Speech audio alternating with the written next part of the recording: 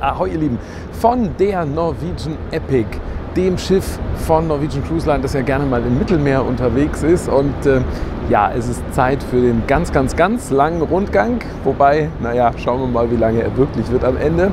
Wir starten hier auf Deck 15. Hier ist einmal im Heckbereich dieser sogenannte Bereich Spice H2O oder H2O, ja, also wie man, wie man immer das auch ausdrücken möchte. Ja, und das äh, Markante ist einmal hier direkt am Heck dieser Pool. Der ist wohl am Abend auch abdeckbar, sodass man das Ganze hier in eine Tanzfläche verwandeln kann. Hier befindet sich dann ja, so ein großer Bildschirm, auf dem abends unter anderem auch Filme gezeigt werden. Hat allerdings so ein bisschen den Haken, dass man nicht so wirklich Kontakt hier zum Meer hat. Ne? Also wenn ich jetzt hier mal gucke, kann ich hier jetzt irgendwo mehr sehen? Na gut, jetzt sind wir gerade im Hafen von Neapel, aber also ja, da ist irgendwo Wasser. Da, ja. Also das ist tatsächlich das Einzige, was hier wirklich so ein bisschen schade ist. Ähm, jetzt tagsüber zwischen 8 und 18 Uhr ist das Ganze übrigens dann auch nur für Erwachsene zu nutzen, weil man eben sagt, so, oh, das soll so ein Bereich sein, wo es ein bisschen ruhiger zugeht. Und wenn jetzt hier Kinder rumlärmen würden, wäre das ja nicht so wirklich der Fall. Wobei das jetzt natürlich an so einem Hafentag hier auf dem Schiff sowieso extrem ruhig ist, muss man wirklich so sagen.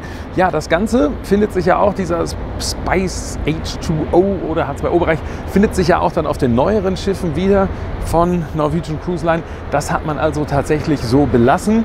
Ja, wo, wobei sich hier vieles auf der Epic auch findet, was man dann später aufgegriffen hat. Auch wenn man sagen muss, dass die Epic ja das einzige Schiff war ihrer Klasse. Das war ursprünglich mal anders geplant.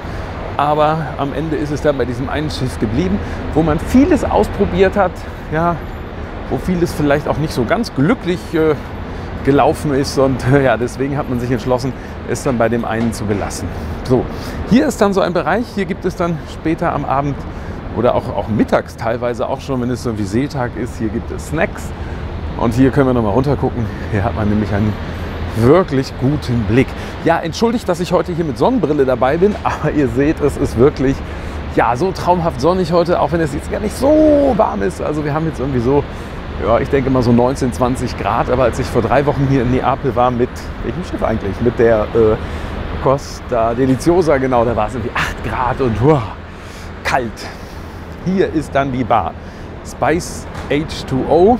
Bevor wir jetzt hier gleich weitergehen, hier unten nehme ich schon mal einen Blick hier rein. Dort geht es dann zu dem weiteren Pooldeck. Aber jetzt geht es erstmal noch mal höher. Jetzt äh, sind wir ja gewesen quasi auf Deck 16 und nach Deck 16 folgt ein Bereich, wo ich bis eben auch noch nicht gewesen bin, nämlich Deck 17. Aha, guck mal, hier kann man nämlich Sport machen dann. Was ist das hier für ein Turm? Ähm, ja, da kann man irgendwie, was kann man da drin klettern oder was? Das erschließt sich jetzt auf den ersten Blick mir nicht, was das ist. Also hier unten sieht fast aus wie ein Trampolin, aber ja Gott, egal. ja, hier, achso, das ist ein Rutschenturm. Also hier ist ja so eine Rutsche, ja, eine etwas kleine. Und hier gibt es nun ja, diverse, wirklich schönen großen Basketballplatz. Das ist richtig toll. Ja, im Großen und Ganzen, so von der Anmutung her, ne, ist es schon ein bisschen kahl, ne? wenn man das so sieht hier, dieser, dieser Bodenbelag und so. Ja, der, der gefällt mir jetzt ehrlich gesagt nur so mittel. Das macht einen etwas kalten Eindruck. Ja, ist jetzt nicht so, dass man da so, häufig hat man ja so leicht gummiertes oder so, oder so, so Holzoptik. Das gefällt mir persönlich schöner als jetzt das hier. Ja, wo wir jetzt die Bar hier gerade sehen, Getränke bei Norwegian Cruise Line, ja erfreulicherweise nun für die Kunden aus Deutschland, Österreich, Schweiz im Preis enthalten. Und zwar nicht nur im Rahmen irgendwelcher Aktionen, sondern das Schöne ist immer. Ja, wenn man nun aus anderen Märkten kommt, aus Amerika zum Beispiel, da gibt es höchstens mal so Aktionen, wo, wo das äh, kurzfristig mal, kurzzeitig mal im Angebot äh, enthalten ist. Aber für uns Deutsche eben nun nicht. Das ist sehr erfreulich, denn die Getränkepreise haben es hier wirklich in sich, aber wie gesagt, kann uns egal sein. So, ja, hier hängen dann so Entspannungssitze Jetzt muss man sagen, jetzt hier ist es jetzt gerade relativ frisch und windig. Da merkt man, es sind halt doch nur 19 Grad. Ne? Wobei ich will das mal ausprobieren. Aha, das ist hier, was ist das hier? So ein Kissen. So, jetzt würde man sich hier ah, reinsetzen. Ja. Und, uh, ups, bin ich da wogegen gehauen hier. Aber, ach nee, das, ist, das liegt daran, hier unten ist jeweils dieser Sitz äh, festgeknotet, ja, dass man also nicht zu, zu sehr sich hier bewegen kann. Ja, so, also das hier auch, ähm, dieser Durchgang, ja, das sowas findet sich dann auch teilweise wieder auch auf den, auf den anderen Schiffen, weil das ist ja schon von, von der Architektur des Pooldecks, wenn man das jetzt mit anderen Reedereien vergleicht, schon vergleichsweise ungewöhnlich. Ne? Ja, hier eine, ich kenne aber fast immer nur noch die englischen Begriffe hier, Rock Climbing Wall. Ach so, ja, könnte man ganz einfach übersetzen mit Kletterwand hier. Das hat es echt in sich. Ne? Gestern sind hier welche geklettert. Wenn man jetzt hier hochklettert und dann da dieser Vorsprung, da rumzukommen, oh, das ist wirklich so, dass das, glaube ich, nur den aller, allerbesten Kletterern gelingt. Ja, ähm, diese von mir etwas kritisierte Ungemütlichkeit setzt sich hier durchaus fort. Ja, wenn wir hier mal schauen. Also, das ja, ist einfach nicht so sehr schön, ne? muss man wirklich sagen. Ähm, ja, ist aber die Frage, wer das kriegsentscheidend ist. Ne? Es ist natürlich so, ich habe hier wenigstens Schattenplätze. Das finde ich ja immer ganz gut, weil ich wiederhole das ja immer gebetsmühlenartig, ich mich ja so gut wie nie in die Sonne lege. Deswegen ist meine Haut auch so hell, dass ich wahrscheinlich gleich einen Sonnenbrand kriege, wenn ich hier ein bisschen rumlaufe. Aber gut. Hier sehen wir schon eine von drei Rutschen. Die haben es auch in sich. Das etwas spektakulärere Modell sehen wir gleich noch, wenn wir hier einmal gleich um die Ecke schauen. Ja, das sind ja auch diese Schornsteine, wirken ja hier monströs. Ja? Wahnsinn. So, hier ist etwas, etwas für Kinder. Die können hier spielen. Aber wir wollen eben einmal hier rumgehen. Und jetzt geht es dann zum entsprechenden, ja, wenn man so will, Hauptpooldeck. Ach so, hier habe ich noch sowas vergessen. Haha, in diesem Raum dahinter, Video Arcade, da sind so Videospiele und so weiter. Ja. Also äh, sowas kennt ihr ja auch. Ne? Und hier kann man eben auch sitzen, ganz entspannt, häufig dann auch im Schatten auf diesen Ratternmöbeln. So, ja, wenig los heute. Das setzt sich hier vorne. Ich gehe mal lieber hier lang, sonst komme ich da nicht weiter. Liegen, liegen, liegen, liegen. Da muss man auch in der Regel nicht verdursten auf diesen Liegen, denn freundlicherweise kommt dann auch mal gerne jemand vorbei und äh, serviert Getränke weil, wie ich schon sagte, all-inclusive nur für Deutschland, Österreich, Schweiz in der Regel. Und ähm, ja, das bedeutet natürlich auch, das Schiff ist schon darauf ausgelegt, auch immer noch Getränke zu verkaufen, sodass ich relativ viele, viele, viele Bars und Kellner habe. Was ein Unterschied ist beispielsweise zu, zu TUI Cruises, wo ja nun alle All-Inclusive haben und äh, dementsprechend, ähm, ja, ist es da, sage ich mal, was Bars und Kellner und so weiter angeht, etwas weniger, als ich es hier habe. So, hier sehen wir schon hier die spektakuläre Rutschenkonstruktion hier mit diesem Trichter, wobei ich vorschlagen würde, dass wir da einfach mal hochgehen. Ich wollte gestern schon mein erstes Video da machen, also nicht nur ein erstes, also gestern ein Video äh, auf der Rutsche. Nur war es dann so, ich habe so eine ja, etwas ältere GoPro 1.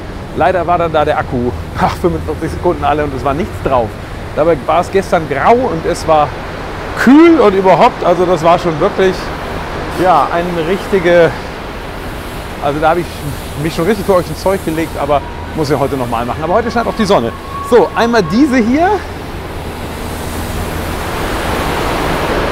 Und hier ist der Auf Auslauf dieser lilanen Rutsche. Ist das? Ja, jetzt, ich tue mich aber mit, mit Farben so ein bisschen schwierig, schwer. Ist das jetzt lila oder eher rosa? Ja, okay. Irgendjemand sagte purple, also lila. So, und jetzt wollen wir wenigstens mal einen Blick hier werfen sieht man jetzt immer noch nicht, müssen wir noch höher, ne? in, diesen, in diesen interessanten Trichter.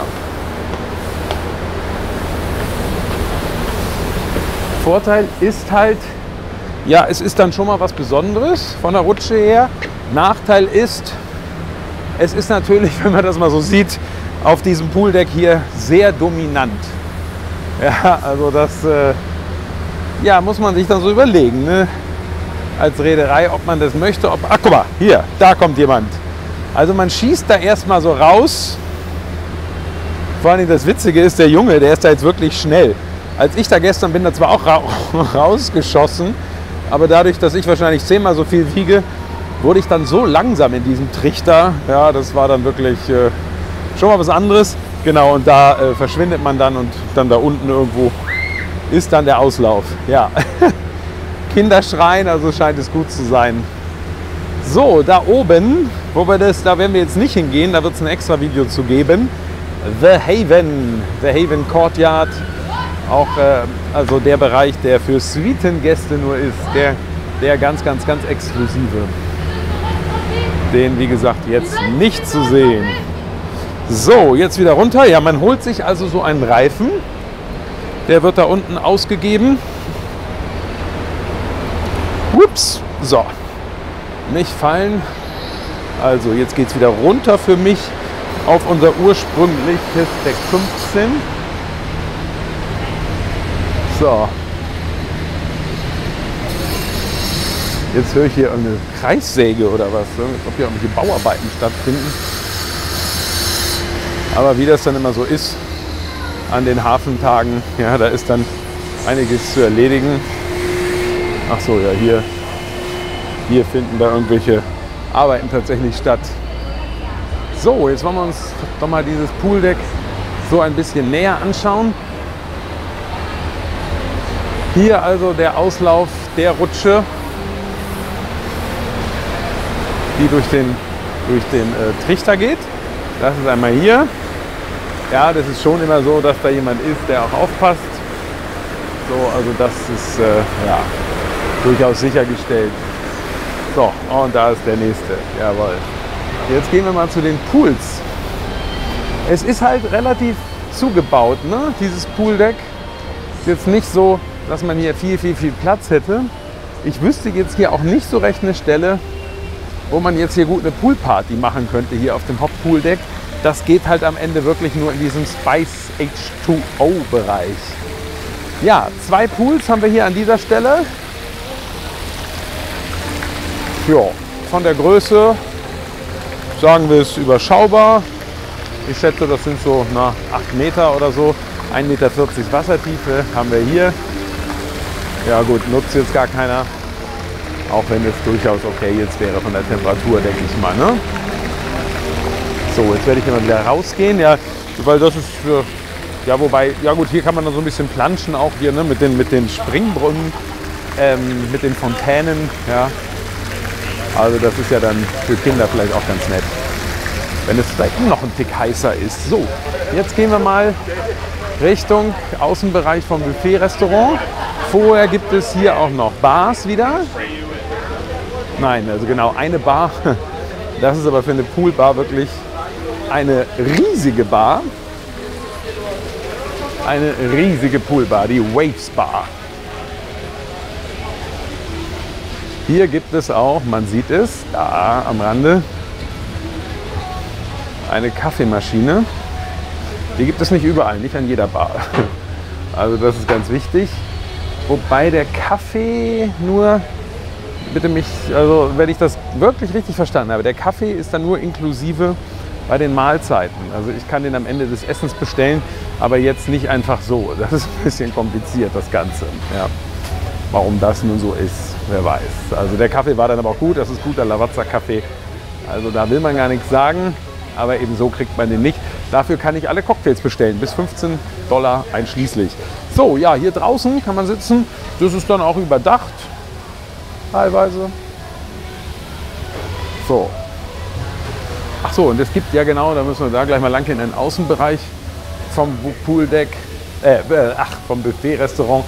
Das heißt dann ja immer The Great Outdoors Café. So, das ist dann hier. Hier kann man in der Regel auch äh, frühstücken. Also heute Morgen habe ich da ein leckeres Omelett gegessen, was frisch zubereitet wurde. Und hier, ja guck mal, versuchen wir mal, ob wir da jetzt überhaupt reinkommen. In das Garden Café. Also die Tür da ist zu. Insofern mh, hm, gucken wir mal, wie weit wir da jetzt kommen. Aber ihr wisst ja, geschlossene Türen heißen immer betreten verboten, außer für Schiffstester. So, also gucken wir mal. Ah. Ach, es geht. Ja, also es geht. oh Gott.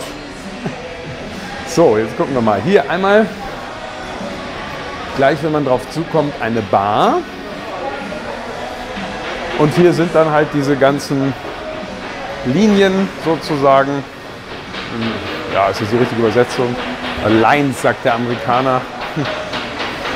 Wo ich dann hier mein Essen holen kann. Und ähm, hier sind natürlich jetzt die ganzen Vorbereitungen auch schon fürs Mittagessen. Geöffnet ist hier auch am Abend zum Frühstück und dann gibt es auch noch einen Late-Night-Snack, also bis 23.30 Uhr oder so. Ja, also da besteht wirklich nicht die Gefahr, dass man verhungert, wobei es auch ähm, ein Restaurant gibt, das 24 Stunden geöffnet hat. Ja, hier hinten. Wollen wir mal sehen hier, ne? Ein ganz schöner Blick nach hinten raus. Ja, vor allen Dingen, Gott, das ist meine, es wirkt natürlich heute auch alles zehnmal so gut mit der Sonne. Ja, wenn es grau ist, äh, habe ich da jetzt nicht so viel von. Ach guck mal, und hier kann man auch tatsächlich auf den Bugbereich gucken. Ja, der jetzt auch tendenziell eher kahl. Ne? Dieser Pool, der da unten ist, das ist der Crew Pool. Also der ist äh, dann für Urlauber wie uns dann nicht zu nutzen. Weswegen ich hier euch noch äh, lang führe.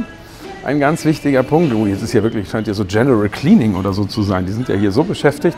Ähm, weswegen ich euch lang führe. Hier unten ist das italienische Restaurant. Es gibt zahlreiche Restaurants, die sind im Reisepreis enthalten. Das Restaurant ist es nicht, das italienische. Es hat in der Regel zum Mittag geöffnet und ähm, da zahle ich eben, hallo, da zahle ich eben, da zahle ich eben einen Aufpreis. Genauer gesagt, man hat das irgendwann mal verändert. Man zahlt jetzt nicht mehr eine Pauschale in den meisten Restaurants hier, sondern man bezahlt äh, per Item sozusagen, also pro Stück. Ja, so hier gibt es auch einen kleinen Buffetbereich. Und hier kann ich dann sitzen.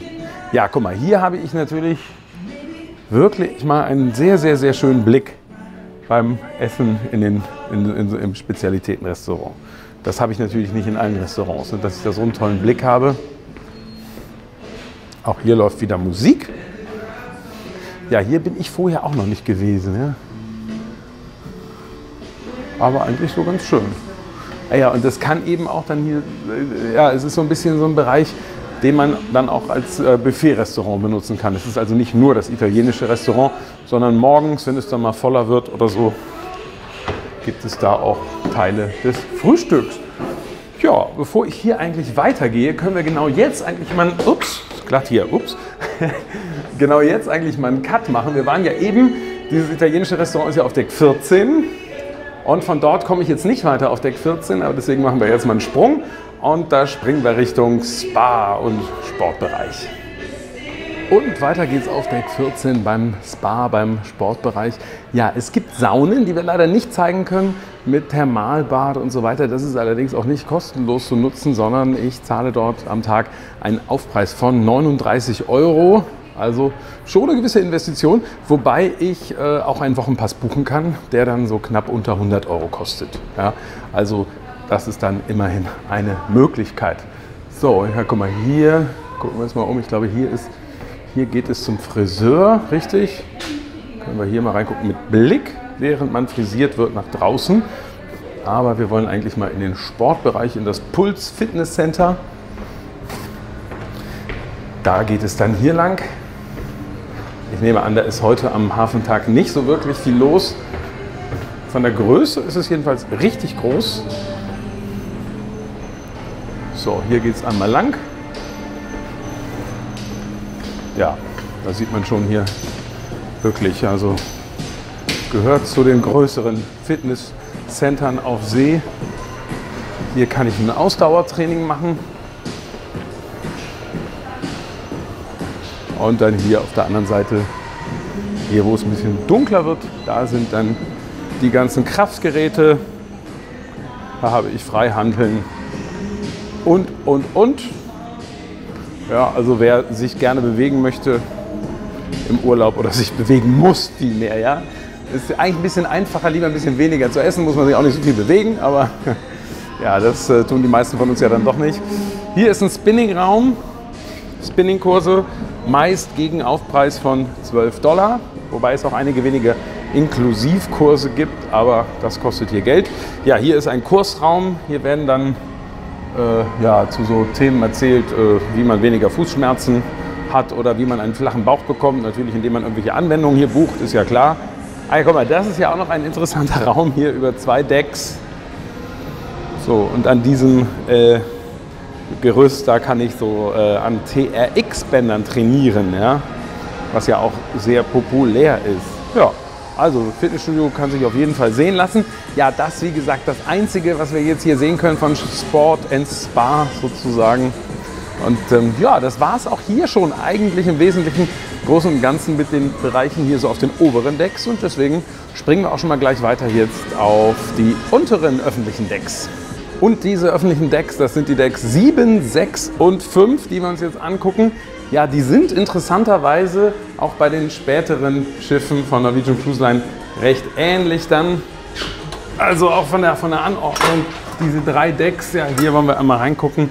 Hier ist einmal das Cagney's Steakhouse. Das befindet sich von hier aus gesehen jetzt auf der rechten Seite. So, das können wir hier sehen. Geht ja schon alarmlos, Gottes Willen. Aber hier ist einmal eine Bar in der Mitte. Ja, so, hier ist das Cagney's Steakhouse. Ja, das Steakhouse, da habe ich immer ganz gute Erfahrungen mitgemacht bei, bei Norwegian Cruise Line. Diesmal habe ich hier nicht gegessen. Muss ja dann nicht immer Steak sein. Habe ich, Steak gab es auch im, im Hauptrestaurant unter anderem. Ja, das ist einmal hier. Auf den späteren Schiffen hat man dann da ja einen Außenbereich. Hier kann man schon mal reingucken. Ich hoffe, da kommen wir gleich überhaupt hin. In den Manhattan Dining Room, in eines der inkludierten Hauptrestaurants. Da findet gerade eine Probe statt, offensichtlich. Ja. Und ähm, ja, jetzt gucken wir mal rüber. Hier ist die Moderno Churrascaria. Das ist so ein Rodizio, nennt sich das, ne? bei uns in Deutschland häufig, wo dann so Menschen rumkommen mit Spießen und die dann da Fleisch abschneiden. Und das Ganze kann man dann ergänzen durch Salat, den es dann, den es dann hier gibt. Steakhouse zahle ich halt äh, pro Stück und äh, in der Churrascaria zahle ich einen Aufpreis von etwa 25 Dollar plus 18 Prozent äh, Service Charge. Ja, also das äh, muss man immer noch bedenken, dass da immer noch ein Aufschlag dann von 18 Prozent kommt. So, hier wieder zurück. Ja, das ist jetzt hier in diesem Innenbereich schon alles so ein bisschen dunkel gestaltet, so mit dunkler Holzoptik, die sich auch in den Kabinen ja wiederfindet. Das ist auch eigentlich so eine typische Geschichte bei Norwegian Cruise Line. So, wieder raus hier. Ups. Oh Gott. Dieses Piepen hört sich ja nicht gut an. Ja, also dieses Dunkle eigentlich relativ typisch.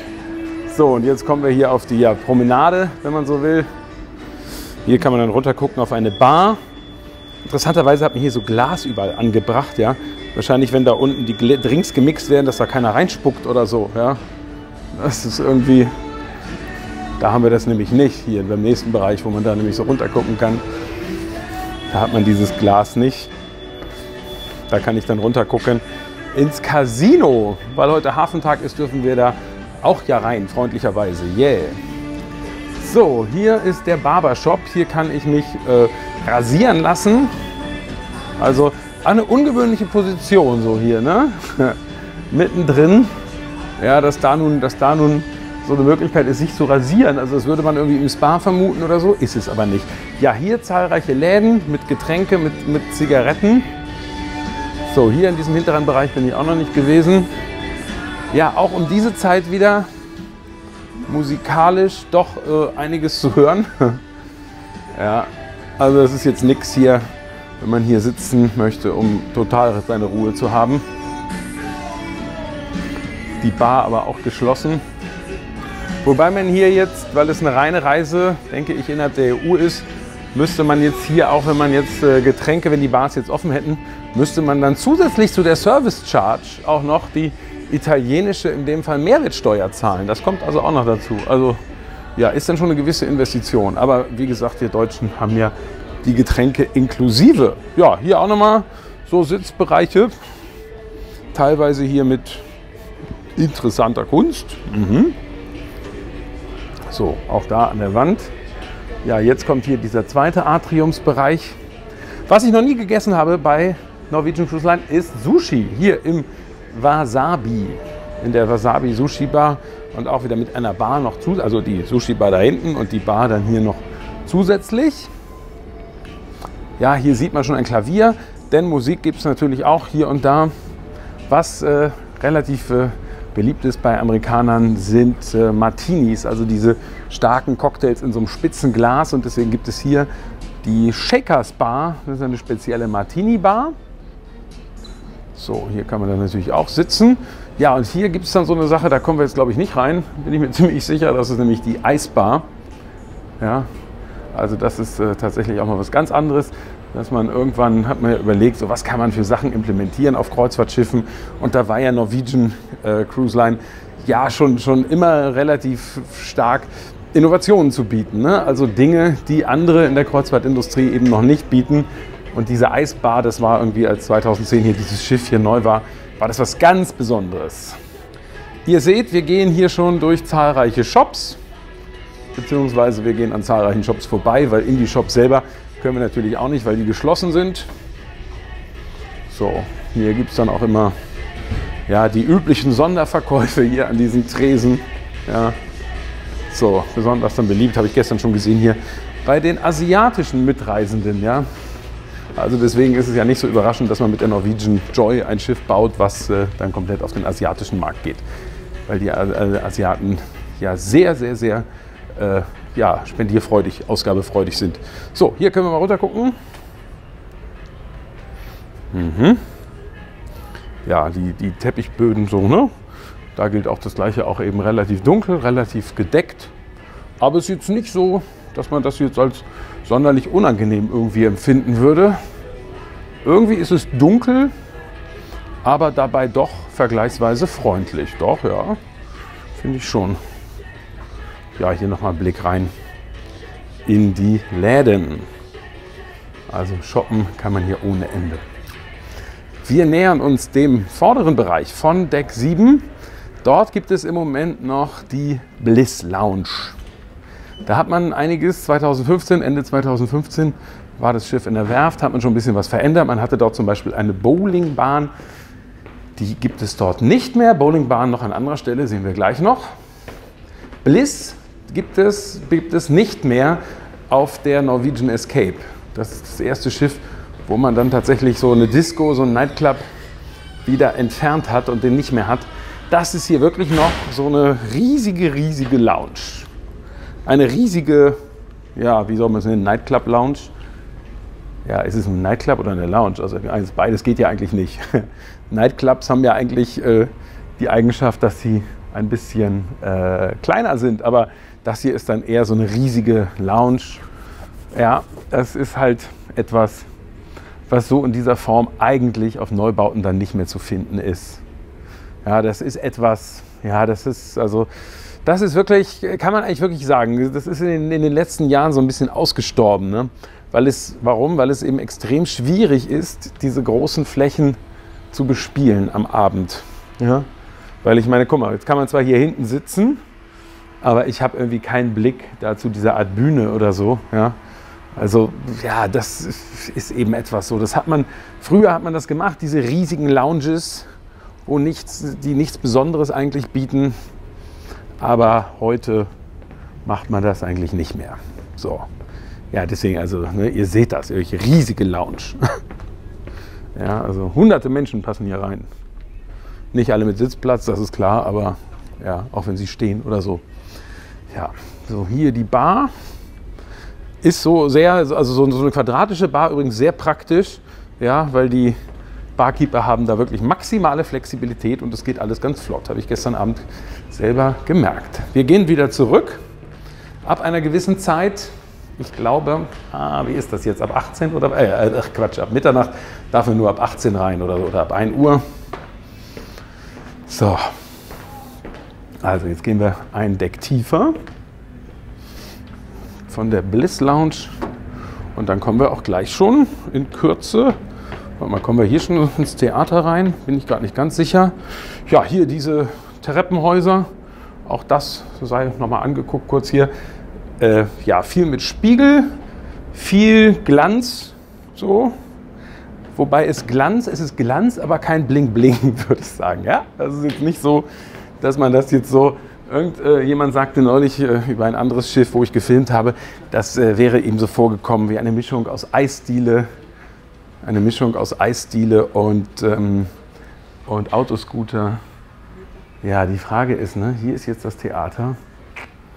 Die Frage ist, da hängt jetzt, da ist jetzt so eine Kordel davor, ne? Ob wir da jetzt gar nicht reingucken oder da ist wahrscheinlich Probe hier für Priscilla, Queen of the Desert, was heute Abend ist. Ähm, Tja, nicht, dass das wieder anfängt zu piepen hier. Ah, na, es geht. So. Also wir können wenigstens kurz mal gucken. Mehr als rausgeschmissen werden können wir nicht. Ja. So, und ähm, ja, das ist ja also das Theater. I see your true colors.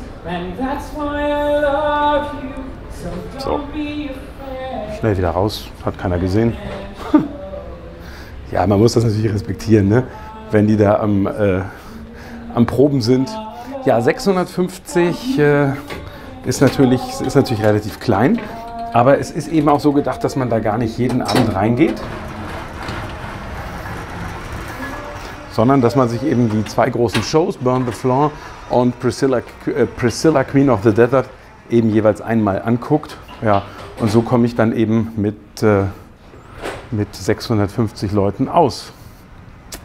Hier gibt es jetzt das Spiegelzelt, in dem eine Dinnershow stattfindet. Ja, ach, do not enter, Mensch.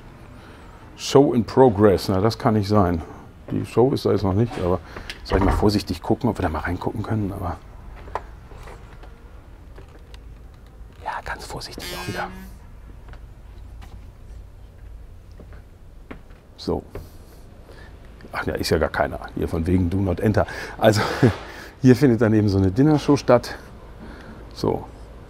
Und das Ganze eben über zwei Decks. Ähm, das Ganze gegen Aufpreis. Wenn ich auf diesen besseren Plätzen sitzen will, zahle ich im Moment 39 Dollar plus 18% Service Charge. Auf den schlechteren Plätzen dort oben 29 Dollar. Dafür gibt es ein Dreigang-Menü und eben so eine Show mit Clown, mit Akrobatik, also im Zirkus-Style. Ach so, ja, Zirkus. Das ist das Motto quasi dieser, dieser Show. Das ist ja nicht ganz unwichtig. Ja, also das Spiegeltent sollte man natürlich reservieren, ganz klar. Wenn man reservieren möchte, gibt es hier das sogenannte Box Office. Box Office, das ist ja so ein Begriff, kennt man vielleicht aus New York oder so. Ne? Da es, gibt es dann auch diese Box Offices, wo ich dann eben Tickets reservieren kann. Ach so, ja, guck mal, hier springen wir mal ran. Da kann man dann sehen, was ist noch verfügbar hier. Eine, ein Platz für den Comedy Magia um 19.15 Uhr, 26 Plätze für die Dinnershow Cirque Dreams ja, Priscilla, Queen of the Desert, nur noch Standby. Ja? Also Standby, das sind dann die Menschen, die in einer Schlange stehen müssen. Headliners, Comedy Club. So, der ist hier, schauen wir mal. Ja, Comedy, es ist nicht zwingend so, dass dort nur Comedy, hallo, dass da nur Comedy äh, äh, äh gegeben wird sozusagen, sondern es gibt da auch so zwei Pianisten, die dann so Dwelling Pianists oder so heißt das Ganze, ja. Also das ist dann eben auch was, was, was jetzt nicht irgendwie nur äh, zu verstehen ist, wenn man jetzt äh, Fan von britischem Humor ist oder so. Ja.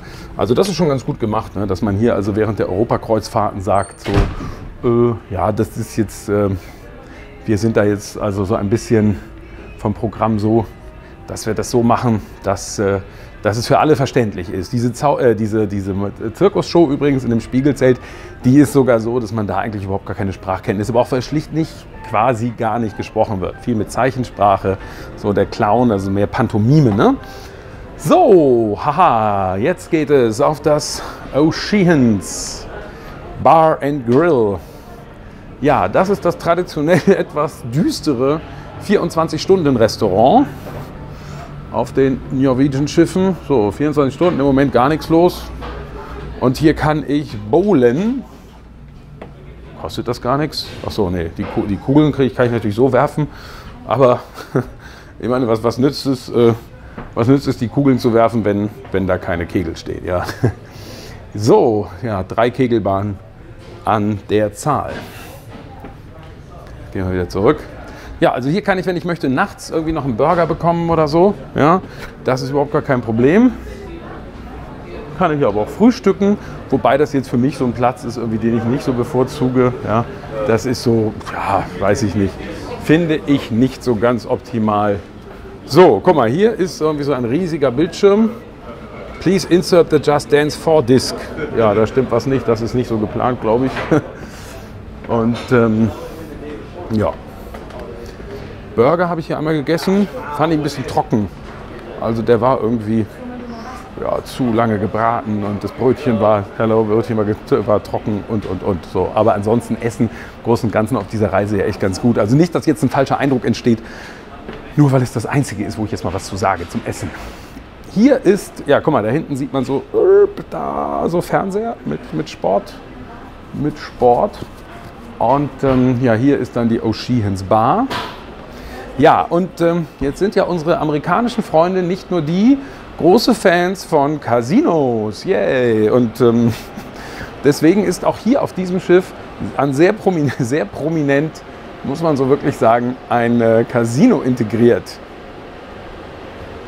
Ja, also das ist schon so. Ja. Auf, auf einigen, auf vielen, vielen anderen Schiffen ist es ja mittlerweile, oder was heißt mittlerweile, auf vielen anderen Schiffen ist es so, dass man das ein Tick defensiver integriert, das Casino, weil man irgendwie jetzt nicht alle Leute da jetzt durchjagen will, sondern das soll dann halt wirklich nur für die sein, die sich wirklich dafür interessieren.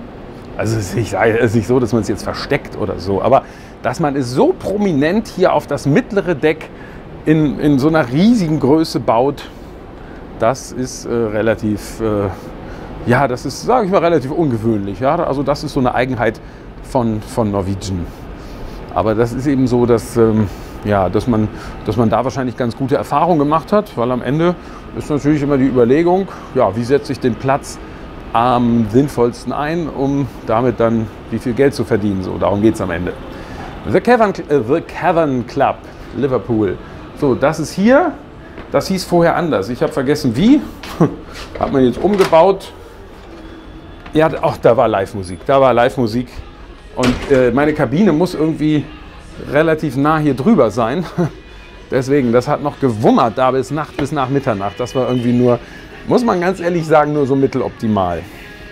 So, hier war, aber dann, das habe ich aber vorher gesehen, also ähm, es hat jetzt nicht nur gewummert, sondern es war auch so, dass Leute hatten wenigstens ihren Spaß. Ja, also, es war jetzt nicht so, dass, es, dass sie nur der Musik gemacht, nur Krach gemacht haben und es hat niemandem genützt. Nein, nein, also es war schon so, äh, da wurde richtig abgefeiert. Also da eher älteres Publikum, Calvin Club. So, jetzt sind wir hier bei dieser besagten Bar, wo man nicht in die Getränke spucken kann oder soll. So, das ist hier. Achso, ja, weil spucken, ne, von wegen, da sind dann also hier so Glasplatten darüber, aber das nur ganz am Rande. Ja, hier der Manhattan Room. Der Manhattan Room ist neben dem französischen Spezialitäten-Restaurant, das wir, denke ich, auch noch sehen, das einzige Restaurant, wo man abends nicht in Shorts reingehen darf. Ja. Ja. Jetzt proben die da, ne? Also wir springen von hier nur einmal ran. Ich will da jetzt nicht. Oh, die Tür geht schon wieder zu. Ja, Gut.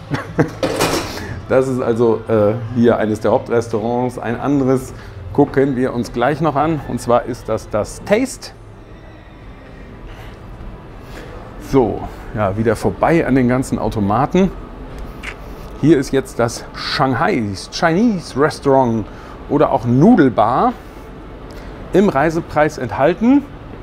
Kein Wunder, Nudeln sind ja eine relativ günstige Angelegenheit, also das würde ich auch in den Reisepreis inkludieren.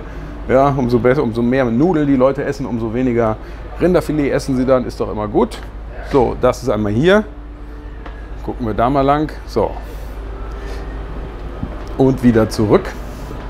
Ja, also wirklich diese Verwebung des Casinos mit allem anderen ist sicherlich ein Markenzeichen von Norwegian Cruise Line. Ist das jetzt nun störend mit diesen Casinos? Ich meine, gut, jetzt muss man sich noch so bling, bling, bling, bling, bling, so Geräusche und so vorstellen. Ja, dann wird hier auch äh, geraucht, wobei der Rauch dann hier abgezogen wird, hört man gerade. So, genau. Und ähm, ja, ist das jetzt störend? Ach, pff. ich weiß nicht, ich nehme das dann eigentlich als gegeben irgendwie hin, ne? dass so ein, so ein Casino irgendwie dazugehört bei internationalen Reedereien, dass das halt ein wichtiger Erlösfaktor ist. Das, ja, pff, weiß ich, mir ist eigentlich egal, ob da ein Casino ist oder nicht. So, hier gucken wir runter. Hier ist das Bedienrestaurant Taste. Manchmal geöffnet mittags, meistens oder immer geöffnet zum Frühstück und eben auch zum Abendessen. Menü aber ja, hundertprozentig weiß ich nicht. Ich, zu 99 Prozent sage ich, ist es identisch mit dem Manhattan Dining Room. Ja, gestern haben wir da gesessen.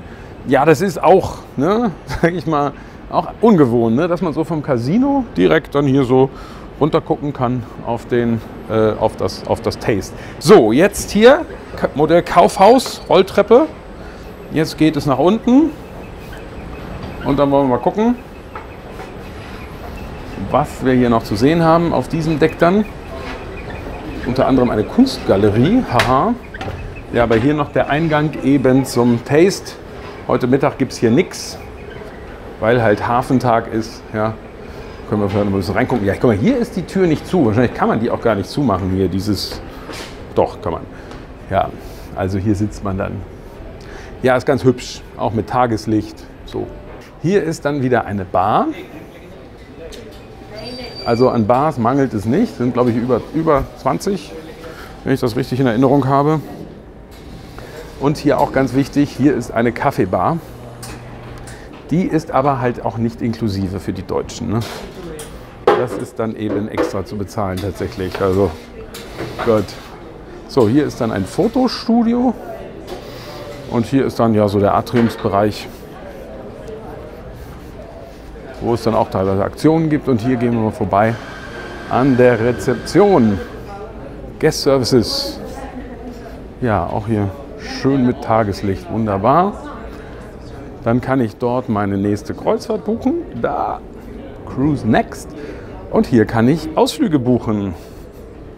Ja, die Ausflüge bei unseren amerikanischen Freunden tendenziell etwas teurer. Vier Stunden Ausflug heute nach Pompeji, habe ich jetzt gerade mal so präsent den Preis, 109 Dollar für Erwachsene. Ja, also das hat, ist, schon, ist schon einiges. So, ah ja, hier ist jetzt Le Bistrot, das französische Restaurant. Hallo? May I have a look? Ja. Das ist das französische Restaurant, wo wir heute Abend essen. So, elegant. Ja, Boeuf Clicquot Werbung für alle, die Champagner mögen. So, soweit sehr schön. Bisschen gediegener. Ja, das ist halt dieses Feel Free, wie es jetzt äh, genannt wird von Norwegian Cruise Line. Ja, was eben bedeutet, man hat riesige Möglichkeiten, ähm, viele, viele, viele verschiedene, verschiedene Möglichkeiten zu essen und ist jetzt nicht darauf angewiesen, nur auf eine. So, das hier ist umgebaut worden. Das ist hier der Bereich der, der Fotogalerie. Jetzt überall mit Bildschirmen. Das wurde also in der Werft verändert, denn ja, das ist jetzt die Technik, für die man sich entschieden hat. Und hier werden dann die, die Papierbilder bereitgelegt. Ja, in diesen Ordnern, da ist dann immer jeweils eine Nummer. So, jetzt kommen wir gleich noch hier in weitere Bereiche, die umgebaut wurden. Hier, schauen wir hier mal rein. So, also hier einmal so ein Raum, wo gespielt werden kann. Guck mal, hier alles gleich mehrfach vorhanden. Dreimal Monopoly, macht dreimal die Schlossallee, wunderbar. So, ja, das ist interessant hier vom ist irgendwie nochmal ein anderer Look hier. Wahrscheinlich hat man dieses Holzfurnier, was man hier anderweitig verarbeitet hat, nicht mehr bekommen. Sieht ein bisschen anders aus. So, und dann hier, muss ein bisschen ruhiger sein, eine Bibliothek. Ja, hier kann man jetzt zum Beispiel so ganz nett sitzen. Bücher gibt es auch und es gibt auch noch, lohnt sich heutzutage kaum noch, einige wenige Internetrechner. Also lohnt sich insofern kaum noch, weil die meisten ja ein Smartphone oder Tablet haben. Internetnutzung, ja, auf einer Skala von 1 bis 10, was den Preis angeht, 10, unfassbar teuer, 95 Cent pro Minute. Ja, also das ist wirklich ähm, ja, so, dass man eigentlich fast nur abraten kann, das zu benutzen, ne, für 95 Cent die Minute. Es gibt dann Pakete, teilweise habt ihr in Deutschland bei der Buchung mal 250 Minuten mit drin oder so. Diese 250 Minuten kosten, glaube ich, 119 Euro. Das ist also auch tatsächlich alles nicht mehr zeitgemäß, muss man definitiv sagen. Ja, also ich würde eh dazu raten, schaut lieber, was ihr mit eurem Handy-Provider machen könnt, ob der nicht, äh, teilweise haben, sind die Auslandstarife heute nicht mehr so teuer. Also teilweise weltweit 50 Megabyte, wo man relativ weit mitkommt an so einem Tag für 2,99. So, hier jetzt auch noch die Kunstgalerie. Ja, Exit This Way heißt, da geht es heute zur Gangway in Neapel. Kunstgalerie, Kunstgalerie, Kunstgalerie. Und das ist die gute Nachricht oder die schlechte Nachricht. Das soll es dann auch schon gewesen sein. Kriege ich das ein bisschen heller hin. Jetzt zur Verabschiedung im Halbdunkel ist noch ein bisschen blöd. Stelle ich mich einfach mal hier ins wow, ins Scheinwerferlicht, ja. Also, ich hoffe, das war spannend für euch. Ähm, wie immer interessiert mich natürlich in den Kommentaren, wie euch das gefallen hat, die Norwegian Epic. Also schreibt das da mal rein. Jo. Und ansonsten würde ich sagen, sehen wir uns bald wieder. Ihr solltet bitte gerne immer über meine Links buchen, denn dann sichere ich euch viele weitere Videos. Also Link in der Videobeschreibung und äh, ja, macht's gut. Bis zum nächsten Mal. Tschüss.